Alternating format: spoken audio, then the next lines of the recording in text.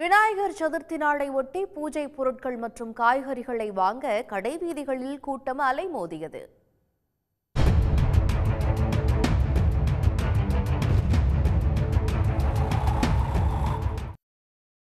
மதுரை மாட்டுத்தாவணி மலர் சந்தையில் காலை முதலே மக்கள் கூட்டம் அலைமோதியது.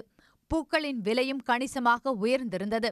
குறிப்பாக மல்லி ஜாதிப்பூ முல்லை தாமரை பூக்களின் விலை கணிசமாக உயர்ந்திருந்தது. மனோரஞ்சிதம் பூ ஒன்று பத்து ரூபாய் பாரிஜாதம் பூ ஒன்று இருபது ரூபாய் மகிழம் பூ நூறு கிராம் ஆயிரம் ரூபாய் எருக்கம்பூ கிலோ எண்ணூறு ரூபாய் என விற்பனையானது. செவ்வந்திப்பூ ஒரு கிலோ இருநூறு ரூபாய் நேற்று இருபது ரூபாயாக இருந்த செண்டுமல்லி பூவின் விலை இன்று எண்பது ரூபாயாக உயர்ந்தது. சென்னையின் பல்வேறு இடங்களில் விதவிதமாக வடிவமைக்கப்பட்ட விநாயகர் சிலைகளை மக்கள் ஆர்வமுடன் வாங்கிச் சென்றனர். குறிப்பாக சுற்றுச்சூழலுக்கு பாதிப்பை ஏற்படுத்தாத களிமண் விநாயகர் சிலைகள் அதிக எண்ணிக்கையில் விற்பனையாகின. சிலைகள் மட்டும் அல்லாது காய்கறி பழங்கள் மற்றும் பூக்களின் விலை கணிசமாக உயர்ந்ததாக பொதுமக்கள் தெரிவித்தனர். விநாயகர்லாம் நல்லா வியா- வியாபாரம் ஆகிட்டே தான் இருக்கும். ஒரு ஒருத்தருக்கு ஒரு ஒரு வருஷம் ஒரு ஒரு சேஞ்சஸ் இருந்துகிட்டே தான் இருக்கும். இந்த வருஷமும் நல்லா தான் இருக்குது மழை இல்லை அது வரைக்கும் சந்தோஷம்.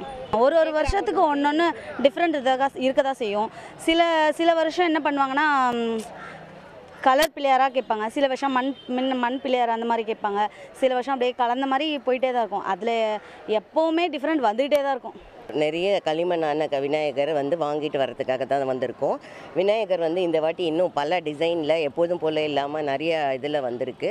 ரொம்ப சந்தோஷமாகவும் இருக்குது விநாயகர்னாலே எல்லாருக்கும் ரொம்ப பிடிச்சதாகும். இன்னும் கொழுக்கட்டை அது இது நம்ம பண்ணும்போது வீடே ஒரு அமக்கலமாக சந்தோஷமாக இருக்கும்.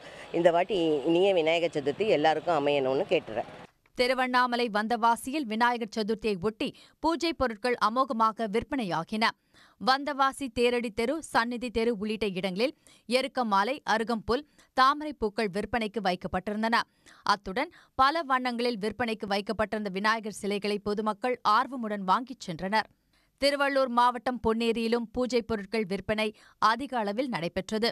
விநாயகர் சிலைகள் மட்டுமல்லாது வண்ண வண்ண குடைகள் வாழை இலை கரும்பு வாழைக்கன்று பழங்கள் உள்ளிட்ட பூஜை பொருட்களின் விற்பனை களை கட்டியது.